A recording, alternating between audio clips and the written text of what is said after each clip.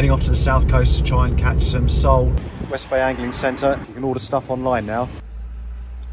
4.2. Look at that, it's an absolute snake. I'm using a two hook flapper with um, size two hooks, just with ragworm, using the baiting needle and a little bit of elastic.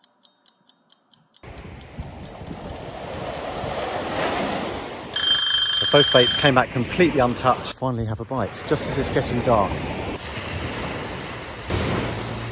I was catching these on the lures two days ago with Ian. A little Ballan wrasse. How about that for a skyline?